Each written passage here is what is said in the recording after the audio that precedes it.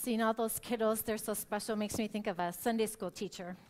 She, uh, she was talking to her classroom, and she said to her kids, she said, If I sold my house and my car and had a big garage sale and gave all the money to the church, would I get into heaven? And they yelled back, No!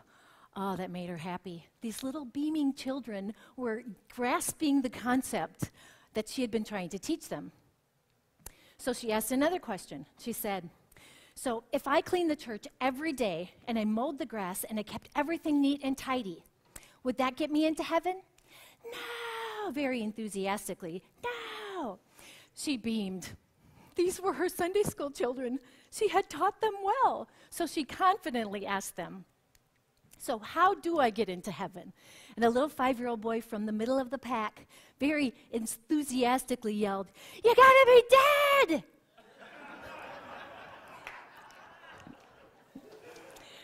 Anybody want to be a children's pastor? it's fun. so, today I want to talk to you about free. If you haven't been here before, our church's theme for the year of 2017 is life with Jesus. And so each month we're taking a new word, which you can see on the wall, and just exploring what that word, how that word describes life with Jesus. And for the month of July, we've been doing the word free. So I want to talk to you about free today. Free to choose. Now, it's not the like choose, free to choose whether you want to love Jesus or not love Jesus.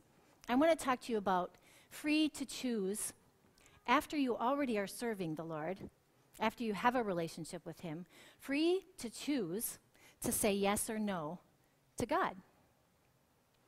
Now, you might be sitting there saying, Who's going to say no to God, right? Who's going to say no to our amazing God who created everything, created us? Who's going to say no? But this is what came to me as I was preparing for this is when God pricks our heart as Christians who serve him and follow him, when he pricks our heart to do something, we either say yes or no to God. In our minds, I think when God says, you know what, go over to that lady in the grocery store and help her. She's having trouble getting her groceries together. Go and help her. We don't necessarily say no to God. We say, God, I'm busy. I got kids at home that need to eat, and I just ran in here for, for two minutes. I needed to grab something for supper tonight. I don't have time, God. And then we go on our way. So we didn't actually speak the word no, but it was a yes or no. And we said no because we didn't do it. And that got me. I was like, uh oh, yes or no? How many of you would say no to God if He was standing right here in front of you? Saying, hey, would you go pick up that trash over there? Because it, it makes the floor look messy and we want people to be comfortable here. We'd say, yeah, you're God. We're going to do it. Yes, I choose to say yes. So I want to talk about what it looks like when we say yes to God, when He asks us to do something. And when I read my Bible, I see a lot of people in there that model saying yes to God. And in there, I see three things that are pretty common to each person that says yes to God. So I'd like to, to dive in and see those three common threads in the lives of people that say yes to God. When He says, Will you do this? And they say yes. Okay, so our first common thread in people in the Bible who say yes to God is expect difficulty. Now, I want to encourage you to say yes. So, why would I say to you, expect difficulty? Because it's true. If you look at people in the Bible, a few come to mind. Stephen, he said yes to God. He was preaching the word and he was stoned to death. Shadrach, Meshach, and Abednego. They wouldn't bow to the statue. They wouldn't worship a God other than their God. They said, Yes, God, we will only worship you. And they were thrown into a furnace expect difficulty. I want to get to our Bibles um, because I want to show you in Scripture um, to expect difficulty. I'd like you to turn to Acts 14. On Monday nights, Pastor Bill and I are doing a Bible study with the women and the men, and we are studying Acts. And so um, I'm just thoroughly enjoying the conversations we have, the discussion, and, and just studying this book of the early beginnings of the church. So let's step into uh, chapter 14. Um, actually, I'm going to start in chapter 13, but we aren't going to put that on the screen. Uh, Paul and Barnabas had been commissioned by a group of believers to go out and preach about Jesus to um, the surrounding areas. And in that sending, we call that their first missionary journey. So Paul and Barnabas in chapter 14 traveled to Iconium first. So let's start with chapter 14, verse 1. At Iconium, Paul and Barnabas went as usual into the Jewish synagogue. There they spoke so effectively that a great number of Jews and Greeks believed. But the Jews who refused to believe stirred up the other Gentiles and poisoned their minds against the brothers. So Paul and Barnabas spent a considerable time there speaking boldly for the Lord, who confirmed the message of his grace by enabling them to perform signs and wonders. The people of the city were divided. Some sided with the Jews, others with the apostles. There was a plot afoot among both Gentiles and Jews, together with their leaders, to mistreat them and stone them. But they found out about it and fled to the cities of Lystra and Derbe and to the surrounding country, where they continued to preach the gospel. Well, this chapter co- continues to go on, and they preached in, Lys- uh, in Lystra. And Paul happened to see a man who had faith to be healed, and so he said, Walk in the name of Jesus Christ, walk. And they tried to worship them as gods. So Paul and Barnabas tore their clothes. They tried to keep them from worshiping them, trying to keep them to, from sacrificing to them. And it was tearing their hearts apart because they loved God and they wanted these people to worship God, but they were trying to worship them. So they finally got that crowd settled down. And uh, the people who resisted them in Iconium showed up, and they took Paul and they stoned him almost to death. They thought he was dead. And they took him outside the city and left him for dead. Okay, so expect difficulty. The early church, they went out, they were commissioned to go and do this for the Lord. They were doing the right thing, and yet they experienced difficulty we should expect difficulty. Let's bring it to Chisago City, Maranatha Chisago City campus. When you say, when Pastor Bill says, you know what, we need help in the nursery. We need someone to, to just hold babies and love on babies. And you say, God, I feel like you're, you're asking me to do that. And so you sign up for nursery. And that day, a new mom comes and she, her little boy, she brings him into the nursery and he's got that clear drainage from his nose because he's teething okay, and a diaper rash because he's teething, and he sits and he cries in your arms, and you play ball with him, and you watch cars out the, the, the window because he likes trucks, and you do this, but he cries the whole time, and you try really hard. But the mom comes back and you give the baby back to him, and you're happy because, you know, you, you served, but you'd say, Lord, you know what? That was a really hard day. That was a hard day in the nursery. I'm not sure that you called me. I think I misunderstood. Perhaps nursery wasn't the word you said because it's hard. This is a hardship. Expect difficulty. Well, nobody was throwing rocks at you. I have to confess to you. Yesterday, at this point in the message, I, s- I said, You didn't, just a second. At that moment, I said, You didn't get stoned that day, did you?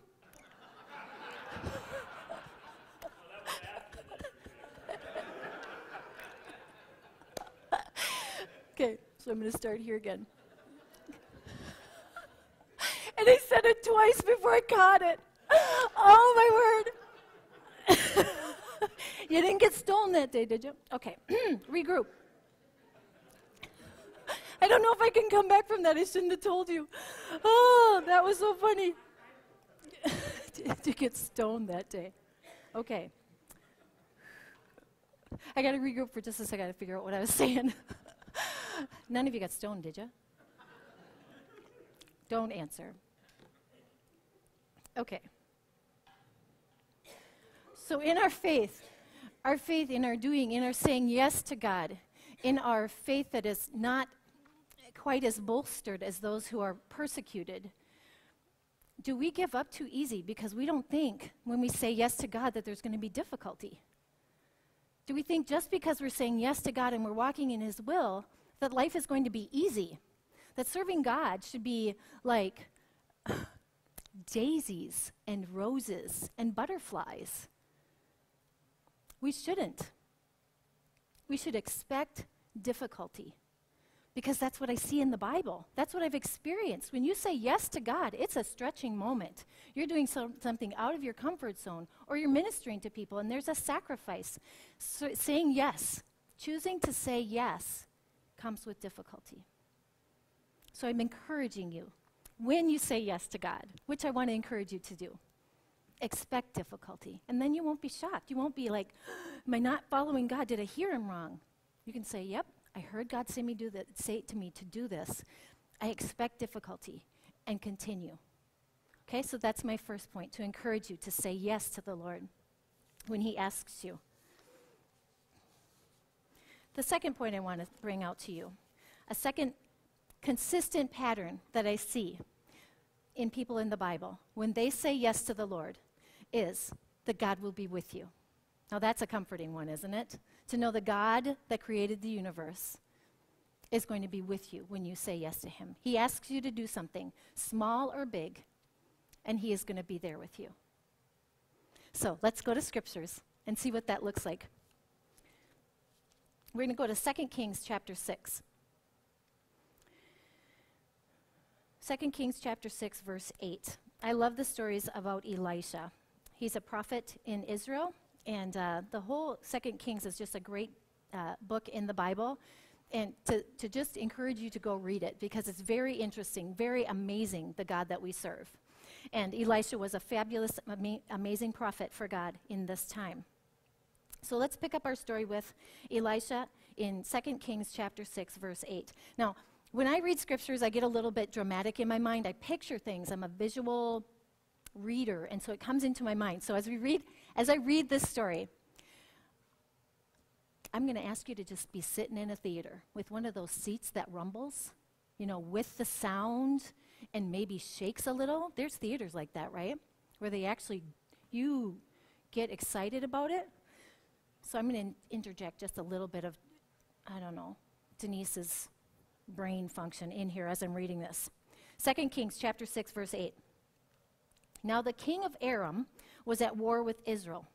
After conferring with his officers, he said, I will set up my camp in such and such a place. The man of God, Elisha, sent word to the king of Israel Beware of passing that place because the Arameans are going down there. So the king of Israel checked on that place and indica- indicated by the man of God. Time and again, Elisha warned the king so that he was on his guard in those places. This enraged the king of Aram. Okay, deep, ominous music is starting. You're sitting in a theater. It's kind of low and real quiet, deep, ominous music because the story, the plot is thickening. The enraged king of Aram, he summoned his officers and demanded of them, Tell me which of us is on the side of the king of Israel.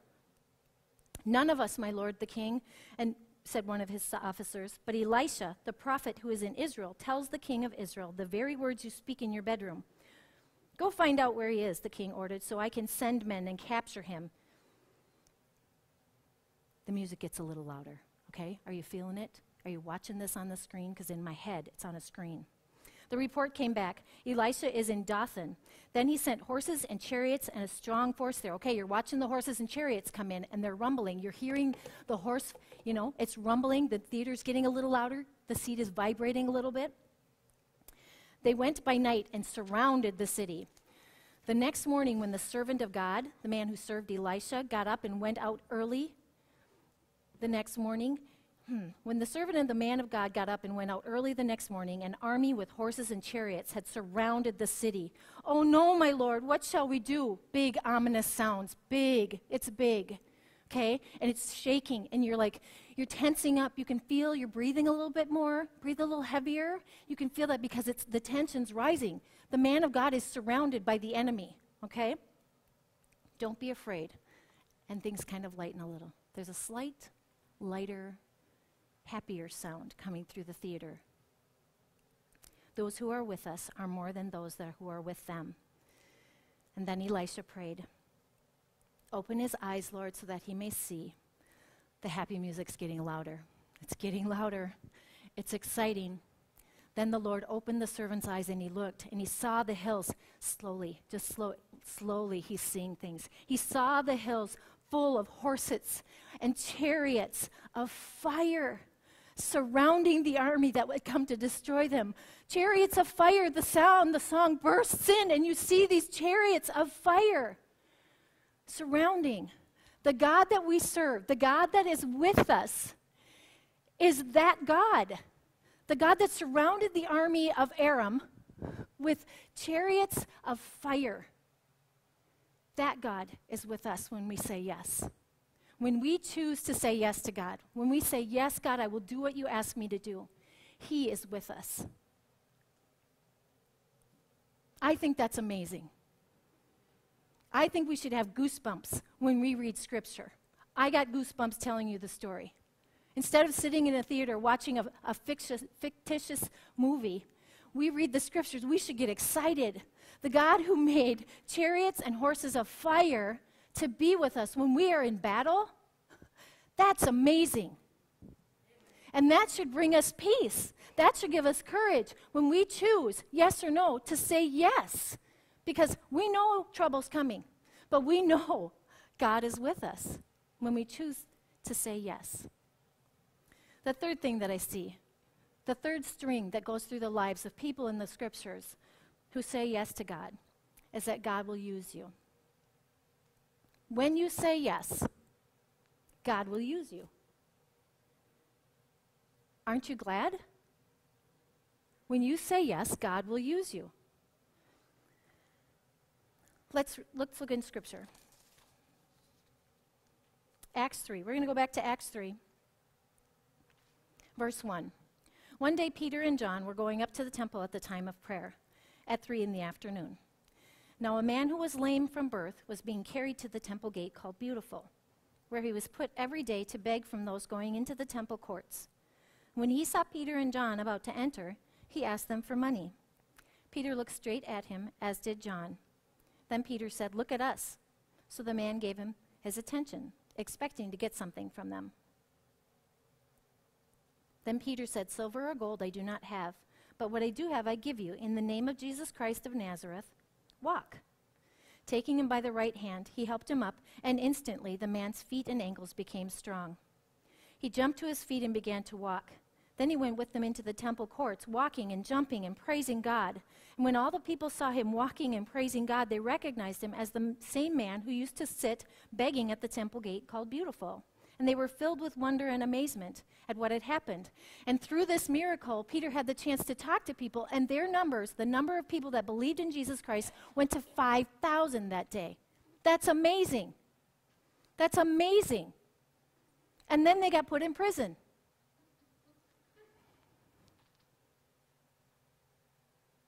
saying yes to God means you're probably going to have some difficulty, but God will be with you and He will use you mightily.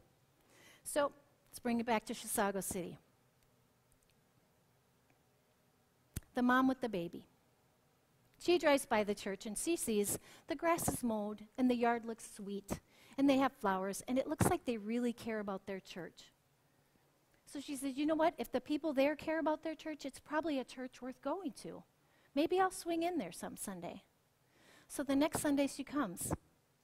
And Deanne greets her at the door and makes her feel so comfortable and welcome. Shows her where the nursery is. And Daylene's in there watching babies. And she takes the little boy who has clear snot coming down his nose because he's teething.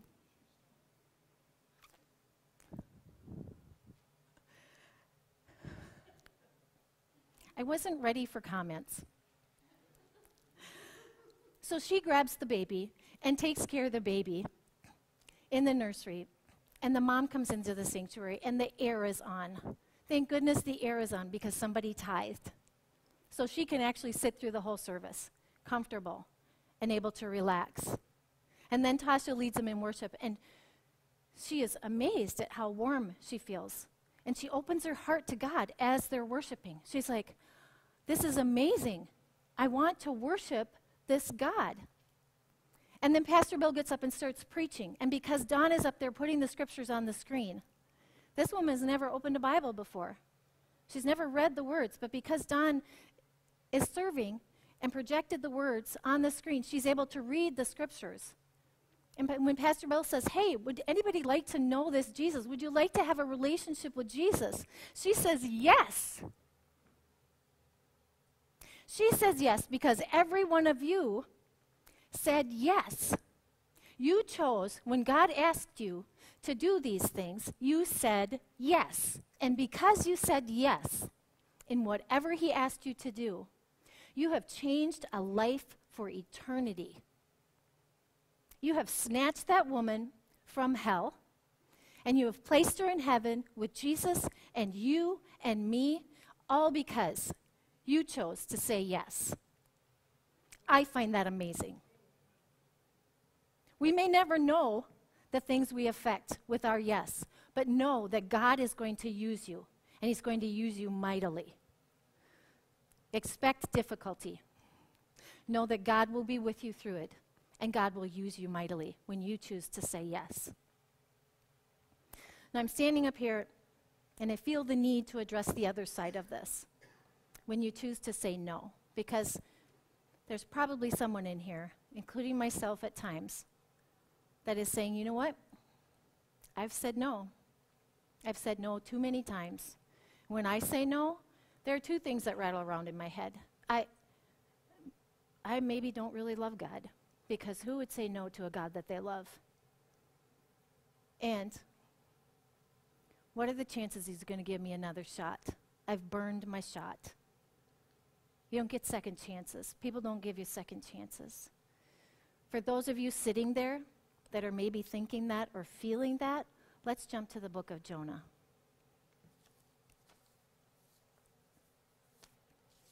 Chapter 1. It's a pretty familiar story, but I still want to read it because there's some things in here that I want you to see. Jonah chapter 1. The Lord gave this message to Jonah Get up and go to the great city of Nineveh. Announce my judgment against them because I have seen how wicked its people are. There's the opportunity God just gave Jonah. Jonah, go tell these people, yes or no. Verse 3 But Jonah got up and went to the opposite direction to get away from the Lord. He said no. He went down to the port of Joppa, where he found a ship leaving for Tarshish. He bought a ticket and went on board, hoping to escape from the Lord by sailing to Tarshish. But the Lord hurled a powerful wind over the sea, causing a violent storm that threatened to break the ship apart. Fearing for their lives, the desperate soldiers shouted to their gods for help and threw the cargo overboard, overboard to lighten the ship. But all this time, Jonah was sound asleep in the hold. So the captain went down after him. How can you sleep at a time like this? He shouted. Get up and pray to your God. Maybe he will pay attention to us and spare our lives. Then the crew ca- cast lots to see which of them had offended the gods and caused this terrible storm. When they did this, the lots identified Jonah as the culprit. Why has this awful storm come down on us? They demanded. Who are you? What is your line of work? What country are you from? What is your nationality? Not a question I'd ask. Anyway, Jonah answered, I'm a Hebrew and I worship the Lord, the God of heaven, who made the seas and the land. The sailors were terrified when they heard this, for he had already told them that he was running away from God. Oh, why did you do it? They groaned. And since the storm was getting worse all the time, they asked him, What should we do to you to stop this storm? Throw me into the sea, Jonah said, and it will become calm again. I know that this terrible storm is all my fault. Instead, the sail- sailors rowed even harder to get the ship to the land. But the stormy sea was too violent for them, and they couldn't make it. Then they cried out to the Lord, Jonah's God. O Lord, they pleaded, do not make us die for this man's sin. Don't hold us responsible for his death either. O Lord, you have sent this storm upon him for your own good reasons. Then the sailors picked up Jonah and threw him into the raging sea and the storm stopped at once. The sailors were awestruck by the Lord's great power, and they offered him a sacrifice and vowed to serve him. Now the Lord had arranged for a great fish to swallow Jonah, and Jonah was inside the fish for three days and nights. Did you notice in verse 9? The first point, the thing that runs around in my head when I've said no, is I must not have a, a true love of the Lord in order to say no. I want you to look at verse 9. Jonah professes, I'm a Hebrew and I worship the Lord, the God of heaven, who made the sea and the land. Jonah didn't give up on his God, he didn't stop believing in God. He had a moment of weakness and he said no instead of saying yes. So now I want you to jump to chapter 3 in Jonah. Chapter 3, verse 1. Jonah was in the fish Remember, he was thrown in there and the fish came and swallowed him? I need to point out, when I was little, I thought the fish was Jonah's punishment, okay, for disobeying God. That wasn't his punishment, death. He was thrown into the sea and he was going to die. He's in the middle of the sea, probably with one of those long biblical looking robes that pulls you to the bottom and sandals that make you can't swim. So he was going down because the whole second chapter is him saying how he was going down for the last count. And God sent the fish to rescue Jonah. And Jonah sat in the fish for three days. Some of you maybe are sitting in a fish right now. You've said no to God and you're in a fish. So let's see what happens to Jonah. Chapter 3, verse 1. Then the Lord spoke to Jonah a second time after he had the fish spit him out on land Get up and go to the great city of Nineveh and deliver the message I have given to you. Verse 3. This time Jonah obeyed the Lord. Jonah said yes. he, learned, he learned his lesson. No doesn't work so well. So some of you might be sitting in a fish. And you need to pray to the Lord like Jonah did God, I'm going down. I'm going down. But please, I want to serve you. I want to say yes. You have given me the choice. You've given me the freedom to say yes or no. And this time I want to say yes. God gave Jonah a second chance. God's going to give you a second chance. So if you're sitting here and you're on the side of, I've chosen no too many times, I want to encourage you. God does give second chances. That doesn't mean that you've denied your God. This amazing God, full of grace and mercy, will give you another opportunity to choose to say yes. Amen. Why don't you stand?